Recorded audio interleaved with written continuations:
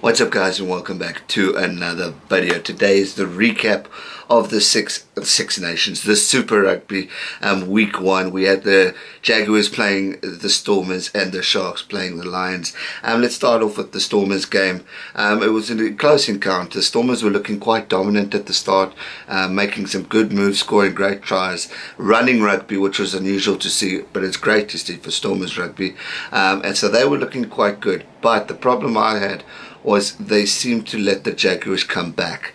Um, and credit to the Jaguars, there there was so much passion, determination from that team. Um, they were looking pumped, they were looking ready, they were looking a lot, for, for me personally a lot better than they looked last year, which was phenomenal to see. I was so glad to see that.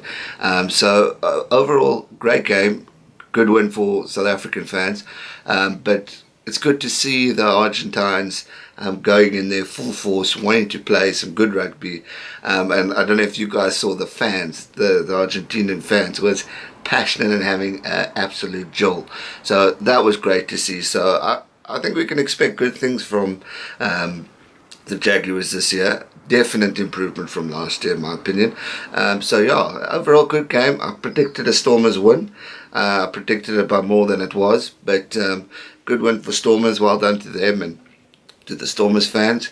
Then we get to Sharks versus Lions. Now, as a Sharks supporter, I'm a bit disappointed with this result, uh, but overall, I'm I'm pleased with the performance of the Sharks. I just find they keep they get the opportunities to score tries and they keep messing up. This is the same problem last year, year before that. It's a typical Sharks, actually, South African rugby problem. Um, so, uh, yeah, it wasn't a convincing game for me for the Sharks. Good, good performance from the Lions. Again, I didn't see. I won't say it's a Lions from last year.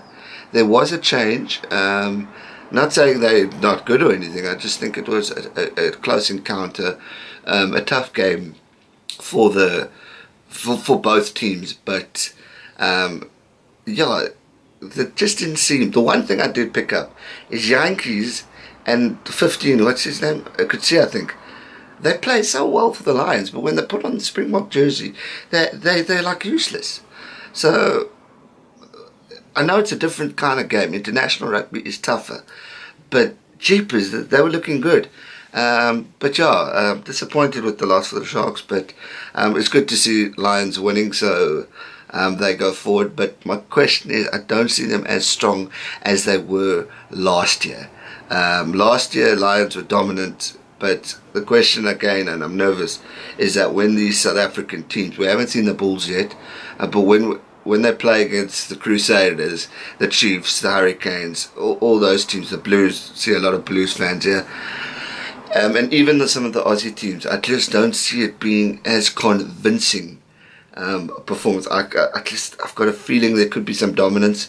A few question marks to be raised about South African rugby. There's still some problems, but hopefully um, it's just minor issues, and we will see these these changes being made.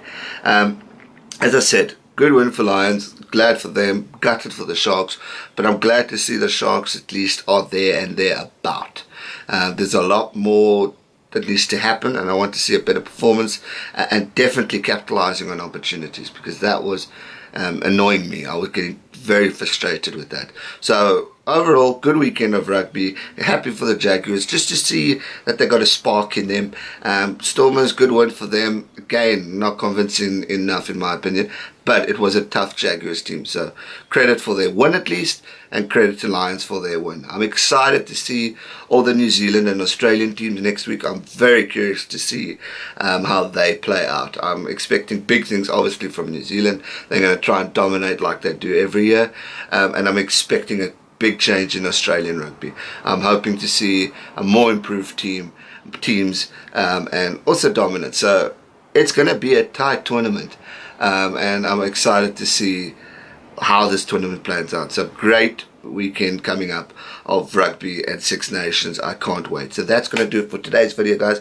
Thanks so much for watching. If you enjoyed it, please be sure to hit that thumbs up button. And if you haven't already, make sure you subscribe to this channel so you can keep up to date with all Super Rugby fixtures, recaps, and all that stuff. So much to look forward to. Six Nations coming up um, again after their break, so predictions and recaps coming for that, and then obviously predictions for Super Rugby. So much more content. Have a great week. Happy Sunday, and let's stay safe and never give up.